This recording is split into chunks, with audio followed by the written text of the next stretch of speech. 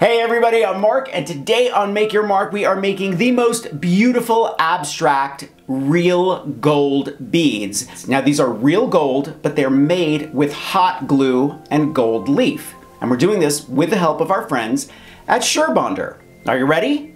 Let's make some gold beads.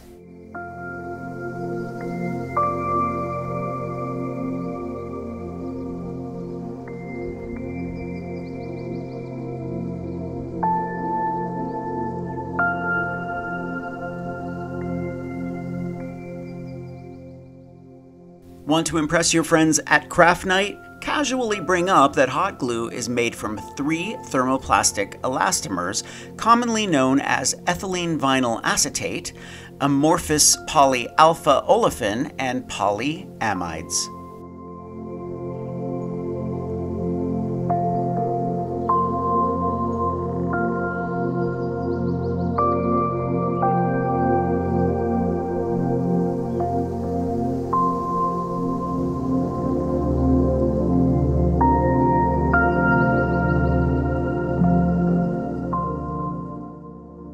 Gold resists corrosion and tarnishing and is considered a noble metal. It's also a good conductor of heat and electricity.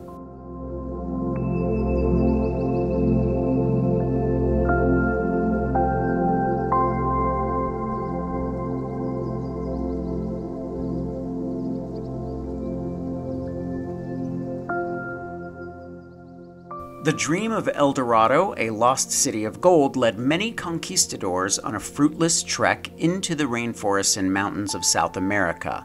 But it was all wishful thinking, since the Golden One was actually not a place, but a person, as recent archaeological research confirms.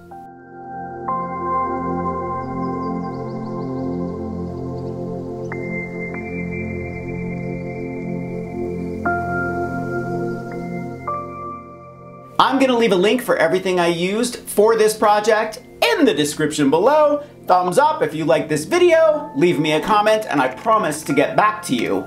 If you want content that you don't find anywhere else, subscribe to me on Patreon. You're gonna see projects you won't see here on YouTube, on Facebook, or on Instagram, and I think you're gonna love it.